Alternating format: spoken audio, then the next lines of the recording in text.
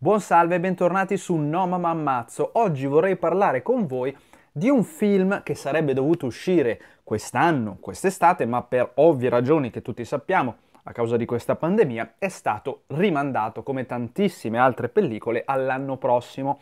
Il film di cui sto parlando è Ghostbusters Afterlife, titolo europeo Ghostbusters Legacy. Va capì. Prima di cominciare però vi ricordo di mettere un bel mi piace a questo video e anche a tutti gli altri della playlist Ghostbusters e perché no anche delle altre playlist, di condividere il video con tutte le persone che credono in spiriti, spiritelli o fantasmi, di commentare qui sotto con quello che ne pensate di quello che sto per dire. Ghostbusters, film del 1984 che è diventato un fenomeno mondiale. Eh, una delle frasi Who you gonna call è diventata iconica nella cultura pop, non si riesce più a dire e che chiamerai senza che qualcuno risponda Ghostbusters. Eh, ha avuto un, un grandissimo successo anche tra noi, figli degli anni 80, io sono nato nell'85, grazie anche alla serie animata The Real Ghostbusters. Io ricordo che già da piccolo, che quando non capivo bene eh, come funzionava il mondo cinematografico, il mondo del doppiaggio, ehm, però mi rendevo conto che una cosa che mi piaceva un sacco della serie animata The Real Ghostbusters era che um, i doppiatori dei cartoni, i, do- i, doppiatori dei personaggi della serie animata erano stati mantenuti, ovvero eh, erano gli stessi eh, che, che erano presenti nel film dell'84 e nel film dell'89, che all'epoca, ma penso anche adesso, eh, era una cosa abbastanza rara. Tra l'altro noi italiani siamo stati molto fortunati ad avere eh, questo evento, anche perché in America eh, gli attori non hanno di certo doppiato la serie animata di Real Ghostbusters, quindi gli americani si sono beccati altre voci, mentre noi abbiamo avuto le stesse voci. E quindi io pensavo, eh, chissà se anche nel prossimo film, Ghostbusters Afterlife, eh, ci saranno gli stessi doppiatori, manterranno gli stessi doppiatori che hanno mantenuto per i primi film, per la serie animata di Real Ghostbusters e anche per il videogioco del 2009. Ovviamente, purtroppo, eh, per chi conosce il mondo dei Ghostbusters in, mo- in modo approfondito, sappiamo già che la risposta è no. Perché? Perché molti eh, doppiatori, doppiatori principali sono venuti a mancare. Vorrei fare con voi una lista dei doppiatori che ci sono stati finora in Ghostbusters e dei doppiatori che potrebbero essere i candidati ideali per il nuovo film. Cominciamo. Cominciamo con la bocca dei Ghostbusters, il capo chiacchierone che è Peter Winkman, interpretato da Bill Murray, è doppiato sia nel primo film che nel secondo film che nella serie animata The Real Ghostbusters da Oreste Rizzini, che molti conosceranno come la voce di Michael Douglas. Oreste Rizzini è una voce caratteristica per Peter Winkman. Onestamente io non riuscirei a mettere sul volto di Peter Winkman un altro doppiatore diverso da Oreste Rizzini. Ovviamente essendo venuto a mancare nel 2008, Oreste Rizzini non ha potuto doppiare Ghostbusters The Videogame che è uscito nel 2009, che poi è stato rimasterizzato, anche se solo in inglese, nel 2019. Al posto di Oreste Rizzini hanno chiesto a Michele Gammino di fare la voce di Peter Winkman. Per darvi un'idea, Michele Gammino è la voce di Harrison Ford in Indiana Jones, in uh, Guerre Stellari, per darvi un'idea. Una voce molto diversa che a me non è piaciuta molto sul volto di Peter Winkman, seppur nei videogiochi. Dovete anche sapere, se alcuni di voi non lo sanno, che eh, la serie animata The Real Ghostbusters è uscita anche su Netflix, ma come molti sapranno come funziona Netflix, purtroppo non sono riusciti a tenere il doppiaggio originale, quindi hanno dovuto ridoppiare The Real Ghostbusters. Tra l'altro hanno ridoppiato solo la prima stagione per fare una specie di beta test per vedere se i fan lo apprezzavano. Hanno fatto bene perché a me personalmente le nuove voci non hanno convinto. La nuova voce di Peter Winkman nella serie animata The Real Ghostbusters uscita per Netflix è di Fabrizio Vidale. Fabrizio Vidale per darvi un'idea uditiva, è la voce di Jack Black principalmente, che anche questa voce io non, non la sento addosso a Peter Winkman. Per Ghostbuster Afterlife eh, potrebbero sfruttare ancora Fabrizio Vidale per dare una continuità col doppiaggio di Netflix, però si sa che spesso e volentieri chi doppia un cartone animato non, non gli danno anche lo stesso, mh, mm, lo stesso doppiatore anche nel film, seppure il personaggio è lo stesso. Un papabile, a mio modesto parere, è la voce di Rodolfo Bianchi. Rodolfo Bianchi è sempre la voce di Michael Douglas ehm, in film che sono mh, mm, venuti dopo la morte di Oreste Rizzini. Mi viene da pensare Ant-Man, Ant-Man and the Wasp, dove c'era Michael Douglas, era doppiato da Rodolfo Bianchi. La voce di Rodolfo Bianchi su Michael Douglas non mi ha fatto storcere le orecchie, quindi io penso che eh, potrebbe essere benissimo adattabile anche allo storico, alla storica voce di Peter Winkman. Dottor Ray Stantz, interpretato da Dene Croyd, che è anche autore dei Ghostbusters, è sempre stato doppiato dal fantastico Sergio Di Giulio. L'ha doppiato in Ghostbusters, in Ghostbusters 2, nella serie animata The Real Ghostbusters e nel videogioco del 2009 Ghostbusters The Video Game. Purtroppo anche Sergio Di Giulio ci ha lasciato l'anno scorso, di conseguenza è impossibile che eh, doppierà Ghostbusters Afterlife. Anche in questo caso, anzi a maggior ragione in questo caso che non ci sono state altre voci per Ray Stans ehm, oltre Sergio Di Giulio, è difficilissimo eh, pensare a chi poter affibbiare la, la, voce storica di questo Ghostbusters. Io ho pensato potrebbero dare, giusto per sonorità con la voce originale di Dene Croyd, che, che noi italiani associamo, eh, potrebbero affibbiarlo al doppiatore di Elwood Blues, dei Blues Brothers, però purtroppo anche quel doppiatore è venuto a mancare nel 2013. Di conseguenza eh, la scelta potrebbe andare su Leonardo Graziano. Leonardo Graziano è il doppiatore della serie The Real Ghostbusters uscita per Netflix. Per darvi un'idea sonora, Leonardo Graziano è la voce di Sheldon Cooper. Non è molto adatta a Ray Stantz, però è già più adatta eh, rispetto a, mm, a, un Michele Gammino, secondo me, su Peter Winkman. Perché no, potrebbero farlo.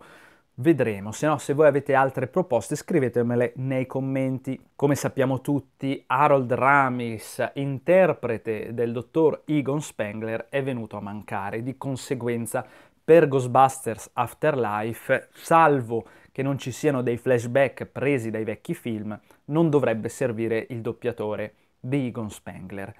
Però ci tenevo comunque a, a, dirvi chi ha doppiato Egon Spengler in questi anni. Egon Spengler è stato doppiato in Ghostbuster 1 da Mario Cordova, in Ghostbusters 2 da Claudio Capone.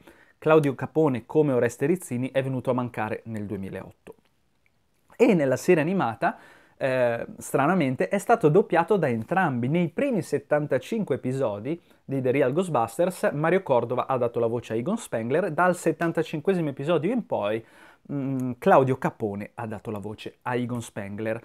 Nel videogioco Ghostbusters The Video Game l'ha sempre doppiato Mario Cordova, per ovvi motivi, perché appunto nel, è uscito nel 2009 e Claudio Capone era già venuto a mancare. Ora, chiaramente, è molto probabile che non serva eh, doppiare Egon Spengler, appunto, salvo che ci siano scene particolari di ricordi. Potrebbero usare anche il vecchio audio, ma ve lo dico, non lo fanno mai, quindi sarà dura che lo facciano. Concludiamo il quartetto dei Ghostbusters con Winston Zedmore. Winston Zedmore, anche lui è stato doppiato da due doppiatori da Massimo Foschi in Ghostbusters, da Gianni Bertoncin in Ghostbusters 2 e anche in The Real Ghostbusters. Gianni Bertoncin ha dato la voce a Winston sia in The Real Ghostbusters, perché è uscito prima, è uscito nel 1987, che in Ghostbusters 2, che è uscito nel 1989. Mentre riprende il ruolo di Winston Zedmore nel videogioco Ghostbusters The Video Game del 2009, Massimo Foschi. Che io sappia non ci sono eh, notizie su eventuale dipartita di questi doppiatori, quindi il ruolo di Winston Zedmore potrebbe andare entrambi i doppiatori. Non sono comunque giovanissimi, quindi starà al direttore del, del doppiaggio capire quale sarà la voce più adatta per questo personaggio. Stesso discorso vale per le due donzelle che ci saranno in Ghostbuster Afterlife. Mi riferisco a Janine Mellitz, la segretaria dei Ghostbuster, che è stata doppiata nel primo film da Emanuela Giordano, nel secondo film da Cristiana Lionello e anche nella serie animata da Cristiana Lionello, mentre nel videogioco Ghostbusters dei videogame del 2009 è stata doppiata da Cinzia Massironi. La scelta sta anche qua al direttore del doppiaggio, la disponibilità delle doppiatrici, quale voce dare a Janine Mellitz nel, in Ghostbusters Afterlife. Francamente non saprei dirvi nemmeno io qual è la voce più iconica. Mm, in base anche alla parte che avrà, potrebbe essere più sensato dargli la voce di Emanuela Giordano o di Cristiana Lionello. La voce di Cristiana Lionello forse è più storica perché è andata anche nella serie a cartoni animati, ma questa voce scazzatissima che aveva Emanuela Giordano nel primo film è altrettanto memorabile, quindi bisogna un po' capire anche il carattere che avrà Janine nel 2021 e quindi quale voce affebbiargli mm, in modo più corretto. Concludiamo con l'eterno amore di Peter Venkman, Dana Barrett o Dana Barrett a seconda del doppiaggio, che è stata doppiata nel 1984 in Ghostbusters da Livia Giampalmo e in Ghostbusters 2 da Melina Martello. Come voi saprete, Dana Barrett non è presente né nella serie animata né in Ghostbusters The Videogame, quindi abbiamo solo due doppiatrici, una per film. Francamente non ricordavo nemmeno che avessero due voci diverse a orecchio, quindi vanno benissimo entrambe le voci. Addirittura mi sbilancio sul fatto che potrebbero mettere una nuova doppiatrice, perché in base anche all'età potrebbero dare una voce diversa al personaggio. Fatemi sapere se voi avete un toto doppiatori su questo film, fatemi sapere se la vostra hype è aumentata adesso che hanno spostato il film di un anno o se invece non avete molte speranze sul film. Io onestamente credo che peggio del film del 2016, che comunque non esiste, nel senso che esiste in un altro universo parallelo, perché non, non collima con questo, non possono fare. Però, ve l'ho già detto, per me Ghostbusters 3 è Ghostbusters The Videogame. Per me Ghostbusters 4 o Ghostbusters la serie è la serie a fumetti della IDW. Quindi io già il mio sequel l'ho avuto, me lo sto godendo leggendo i fumetti, che sono in continuity con i primi due film. Questo film, che è ambientato nel presente, perché no, potrebbe, potrebbe soddisfarmi, ma ne dubito molto. Io credo che l'operazione sia atta a rilanciare un franchise in cui delle nuove leve, tra cui il personaggio di Paul Rudd, per esempio, prendano in mano gli zaini protonici e ri, eh, rilancino l'attività commerciale dei Ghostbusters. Io Paul Rudd ce lo vedo bene come un ipotetico nuovo Peter Winkman.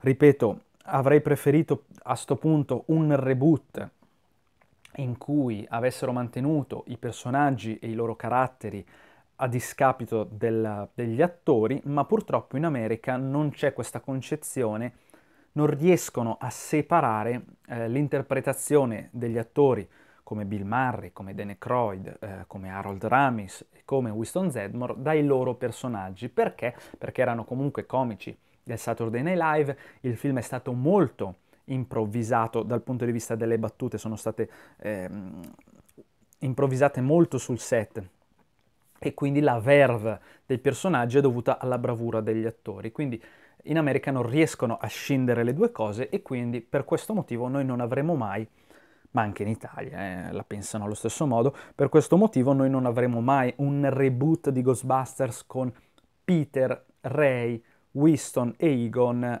interpretati da altri attori, che poi non, non, è, non, per forza io vorrei un reboot, in realtà io vorrei un Ghostbusters 3, come nel videogioco che è ambientato nel 92, quindi qualche anno dopo la storia di Vigo il Carpatico, in cui i Ghostbusters continuano la loro attività e sono interpretati da altri attori.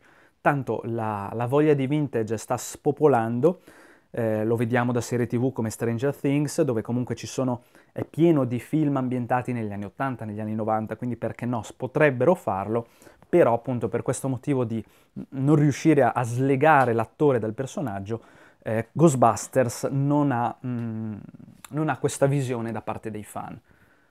Bene, io ho parlato anche fin troppo, per questo è tutto, per questo video è tutto, io vi saluto come sempre con l'inchino e con l'imbuto e vi dico arrivederci al prossimo video.